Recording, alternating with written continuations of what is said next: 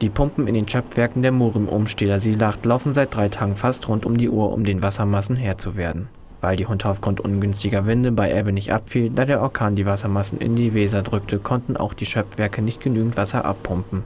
Und so stehen jetzt auch die Gräben und größere Flächen im Impfweger Moor und in den Morim unter Wasser. Bei weiteren Niederschlägen würde es problematisch, sagt Verbandsvorstehender Jürgen Büsing, der die geplante Novellierung des Landesraumordnungsprogramms mit der Ausweisung von Vorranggebieten für den Moorschutz kritisiert. Sollten Flächen für den Moorschutz vernässt werden, gingen Flächen verloren, die das Wasser, wie jetzt bei den starken Regenfällen, aufnehmen könnten.